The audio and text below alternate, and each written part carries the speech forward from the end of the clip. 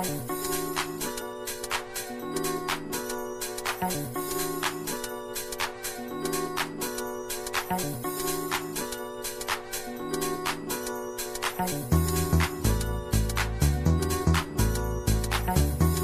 it a struggle? Yes, we have to realize our strengths and our weaknesses.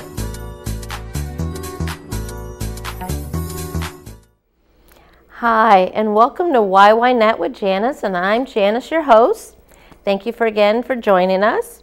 Uh, today we have a wonderful special guest in our um, studio today to talk to us, Susan Pfeiffer. She is a mortgage specialist consultant at NuMark Credit Union. Uh, she's appeared on the show before, um, an episode on getting financially set, where she helped us figure out that we need to start putting money in the bank account, getting checking accounts, things like that. Uh, another episode was getting our credit score. Most of us don't even know what our credit score is or how to raise it or lower it. Today, though, she's going to talk about and blend all those two together to first time home buyers. A lot of us want to buy our own home, um, tired of renting, or as parents like me, we want the kids out the house and have their own home, which would be their first home. So Susan is going to take the stand and tell us a little bit about home buying. Thank you very much, Susan, for coming again. Thank you. We love you on the show, and thank you for coming. So we're going to talk about first-time home buyers. That's right. Where do we start? Well, most likely you want to fire your landlord or you want to get out of your parents' basement, right? so how do we do that? How do we do that? So the first step is going to be to get pre-approved. Okay. And what you're going to do is you're going to find out what can I afford?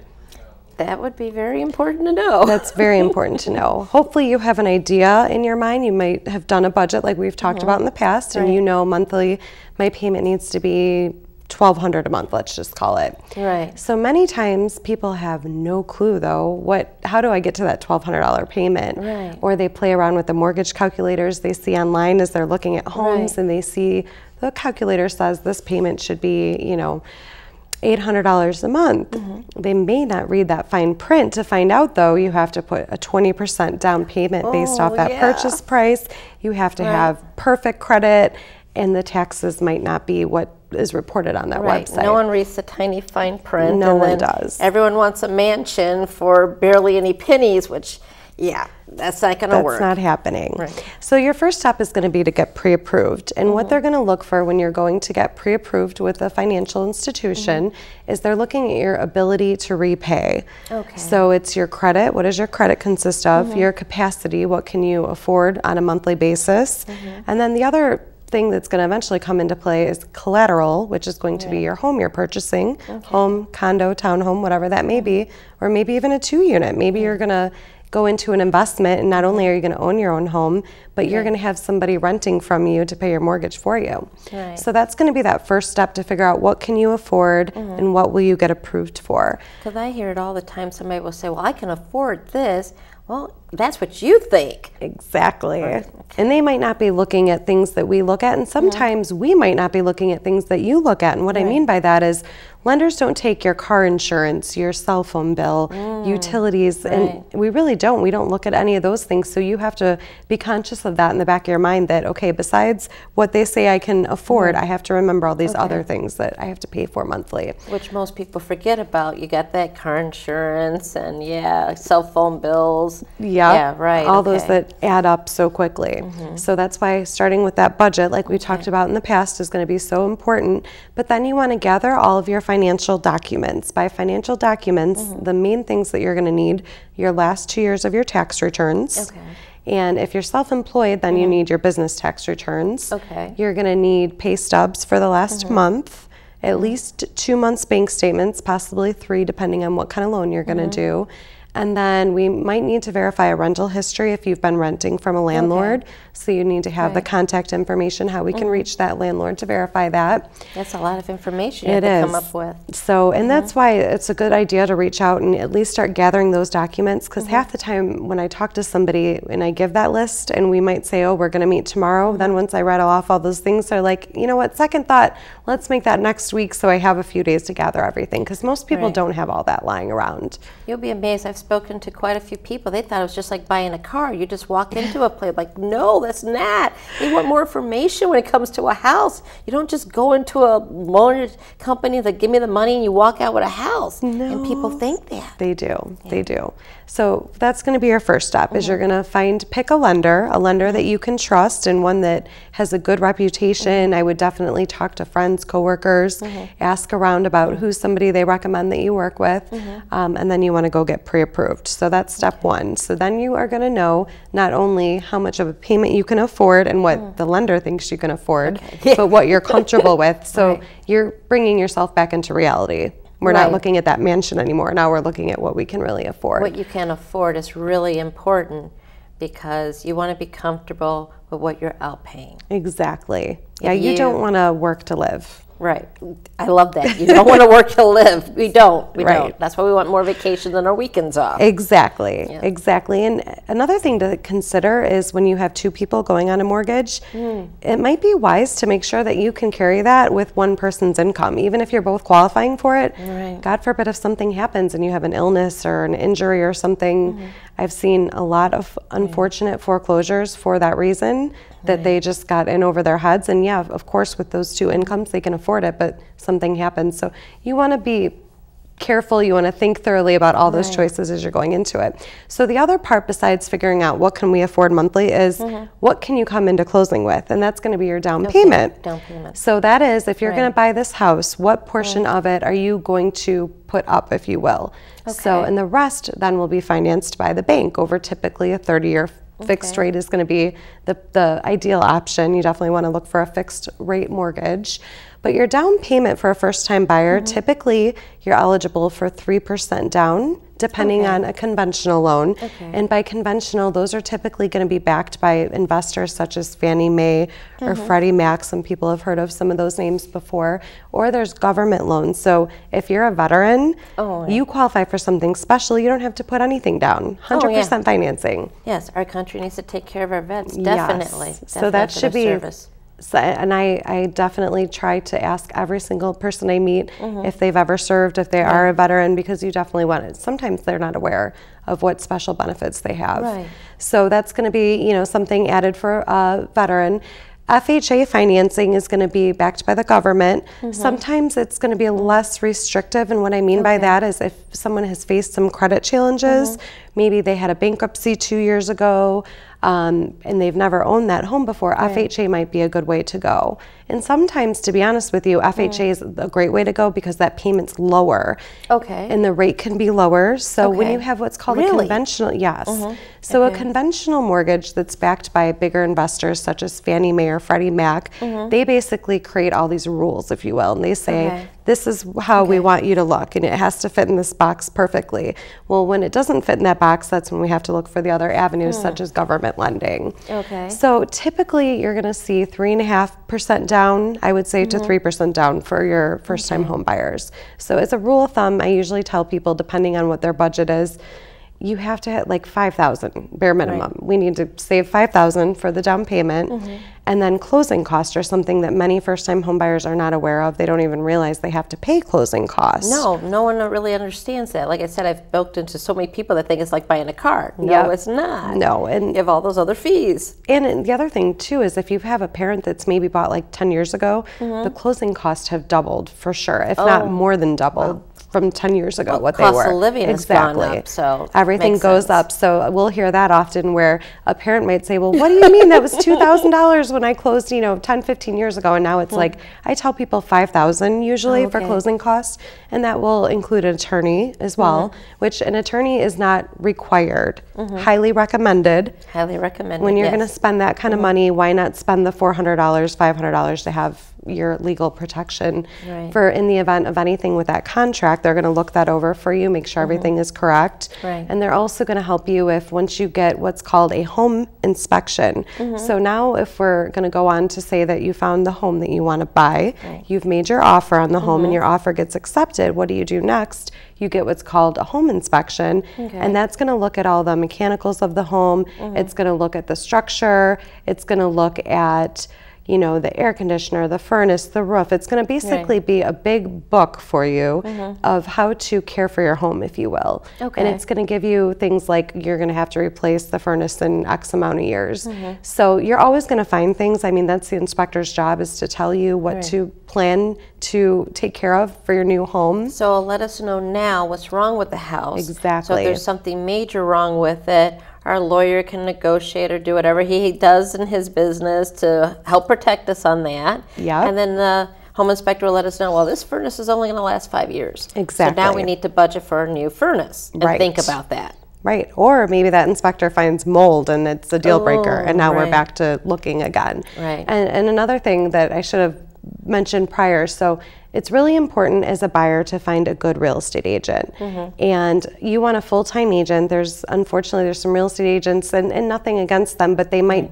have a full time job that has their commitment for 40 hours a week right. and then they're doing it on the side. Well, most of the time in this market, these homes are flying off the market so fast. So you find a home, you love the way it looks, you want to go look at it. By the time your agent gets off work and can meet you and take you, it's right. already gone. Right. So if you find a full time real estate agent that can mm-hmm work hard for you, help you navigate through all the homes, and they're going to know the area too and help you with that payment. Okay. So that's when it's important to have that good team and have right. your real estate agent talk with your lender mm-hmm. to make sure that okay, they're going to look at homes where the property taxes don't exceed 3000 right. for instance. Right. And that's also part of your mortgage payment you have to think about. Not only I'm going to borrow this much for the house, but I also have to blend in the taxes and the insurance will also be blended in my loan now this is my new monthly payment. Can I really afford that and feel Ex- comfortable with exactly. it? Exactly. And Ex- your agent will work with the lender and take care of They'll take that. care of all that. And mm-hmm. some, I think, a common myth is mm-hmm. people say, well, I'm not going to use an agent because I don't want to pay for one, mm-hmm. which you don't ever, well,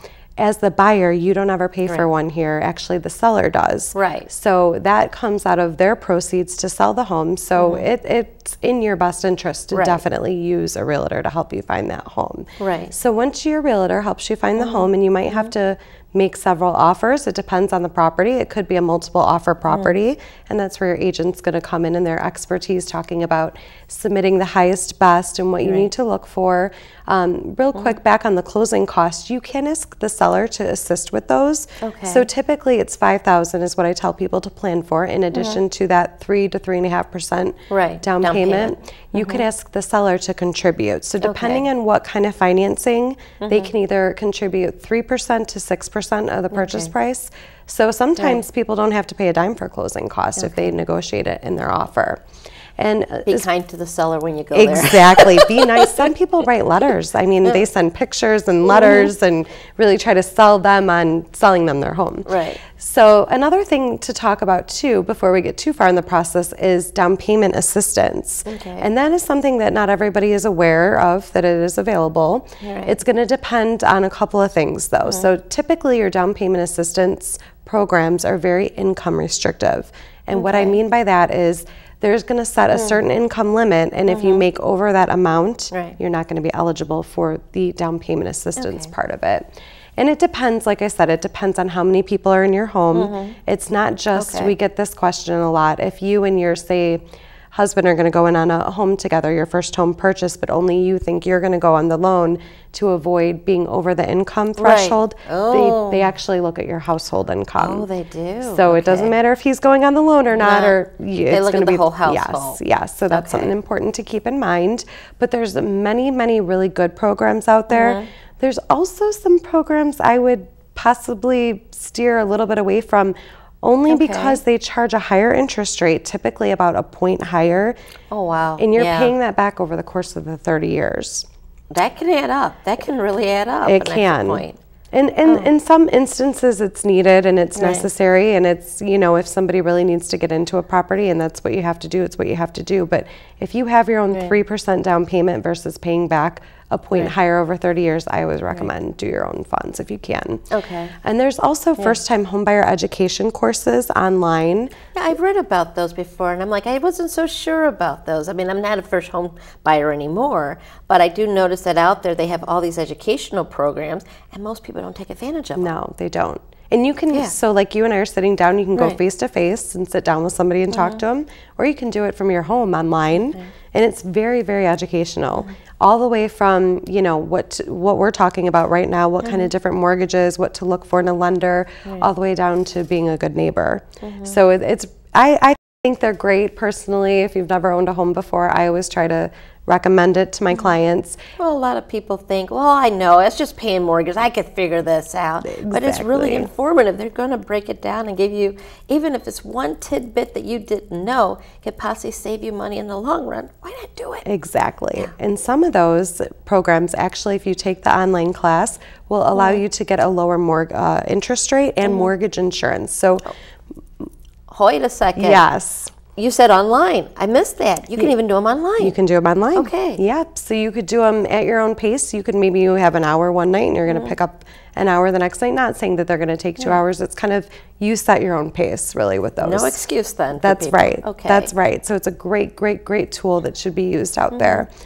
So, um, mortgage insurance. That's something I just mentioned that a lot of people aren't familiar with m- what mortgage insurance is. Okay. Sometimes people have heard the acronym PMI, PMI. and that's private mortgage insurance. So that's not a good thing. It's not a Mm-hmm. good thing for the consumer when you're buying a home.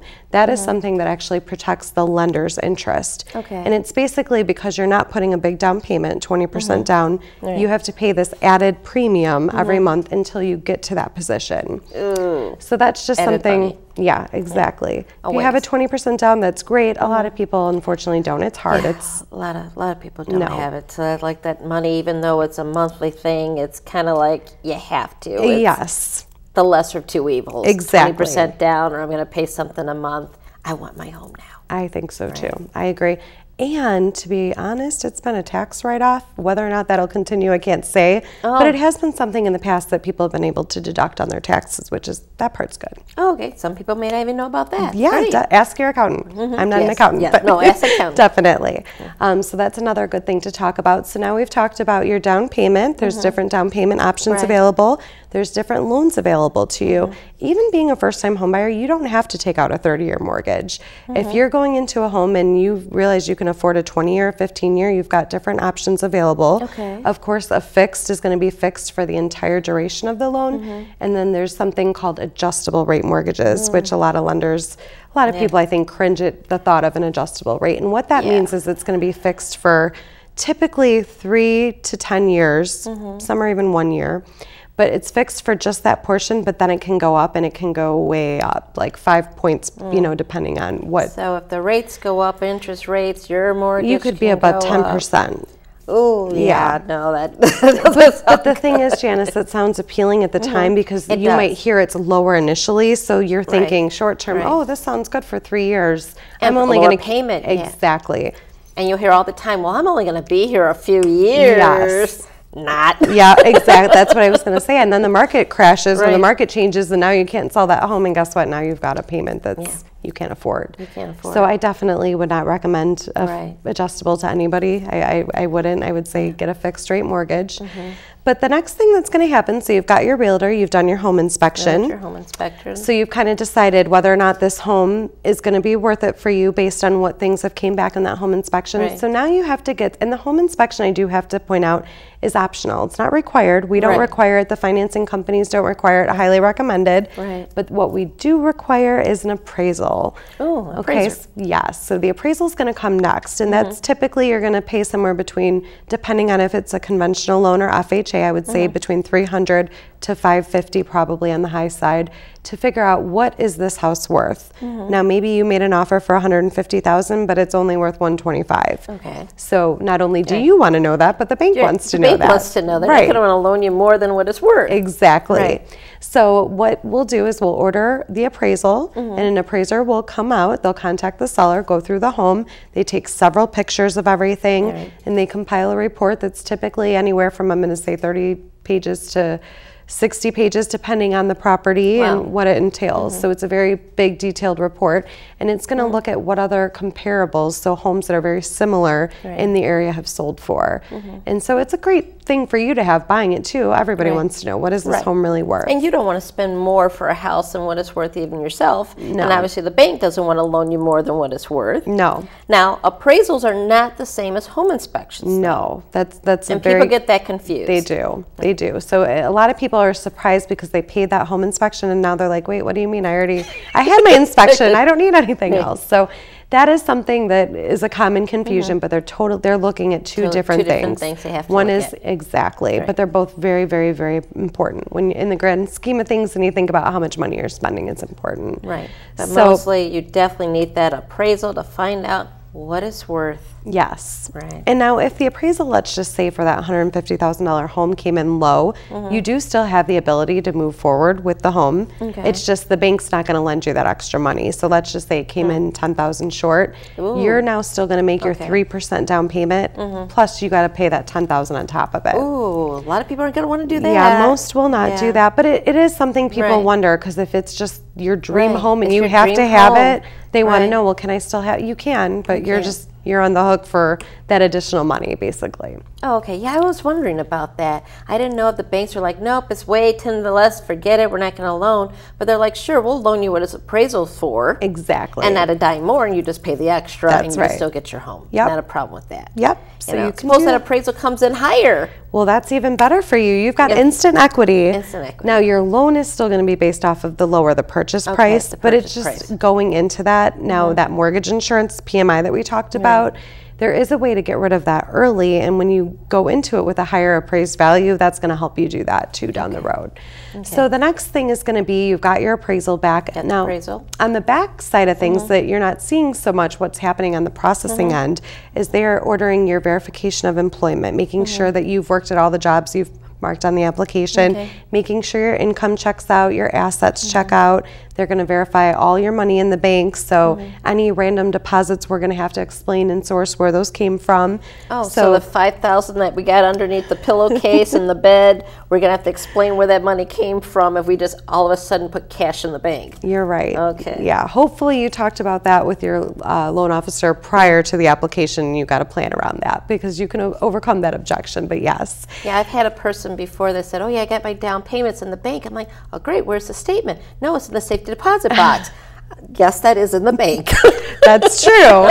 Very true. but that's not going to work for the loan. No, it's not gonna. That's gonna be a problem. Okay. So once we've gotten through the processing, Mm-hmm. then we are going to get the title work back. And the title work is going to take a look at kind of like court records under your name, Mm-hmm. as well as anything tied to that property. So if there's any outstanding liens that maybe that seller didn't take care of, you don't want them following you and all of Mm. A sudden becoming your problem now with the property. So we get all that stuff cleared. Mm-hmm. And then what'll happen, and this whole process I'm going to say takes under 30 days, really like 21 days on Mm-hmm. average, um, 21 to 30 days, we'll say.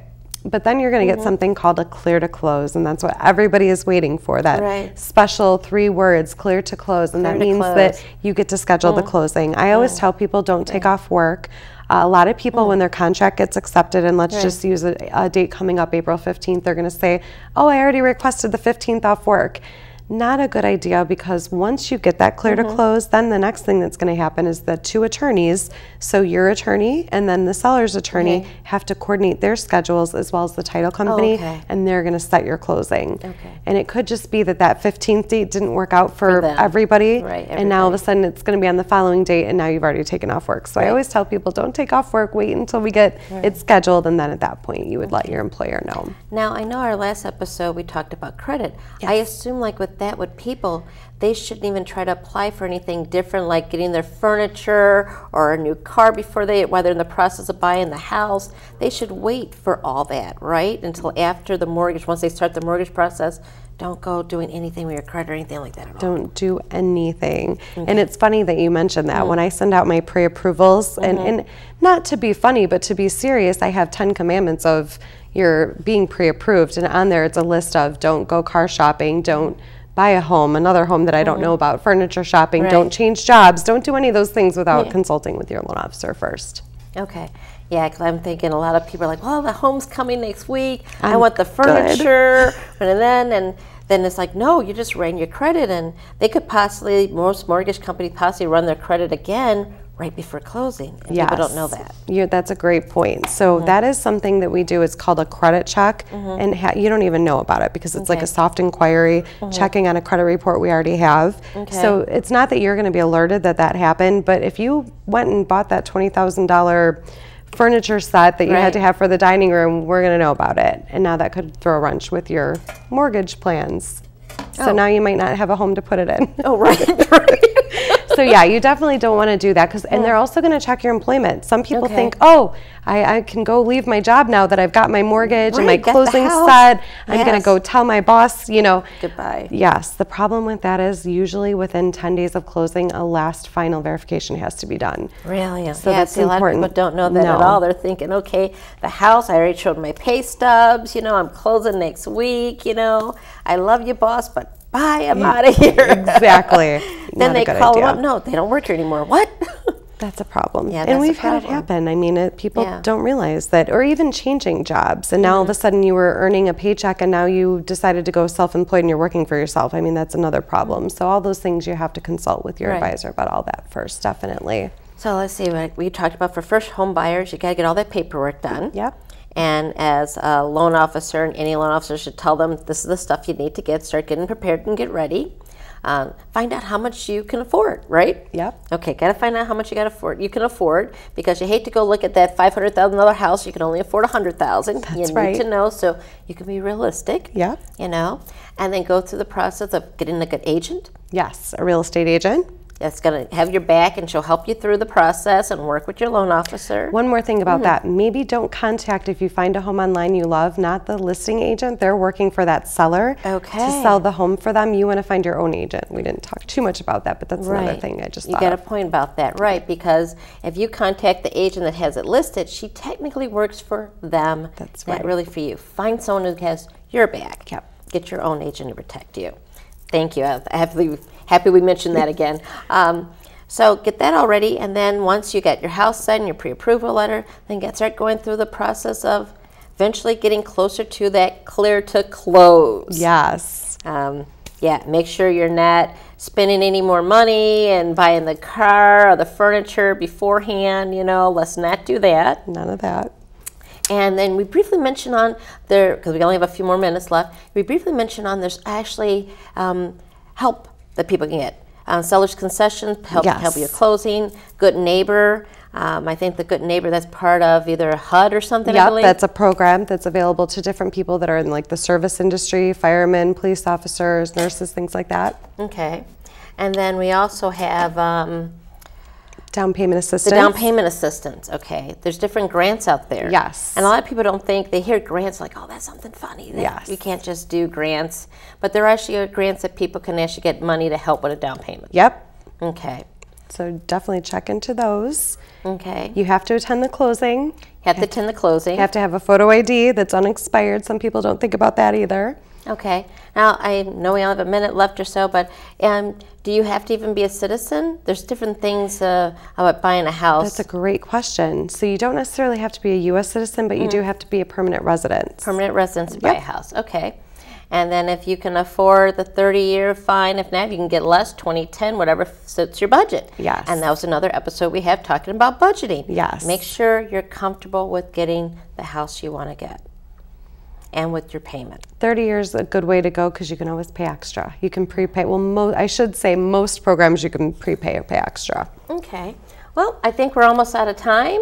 Um, Want to thank you for coming. Thank you for having me. Susan. Um, I just love having you on the show. You give our viewers so much great information, finances, credit, buying a home. I mean, I just love having you on the show. Thank um, you. Susan Pfeiffer, guys, um, NuMark Credit Union, um, senior mortgage consultant, and she's call her, find out information, um, get your lives together. Financially, get your life together.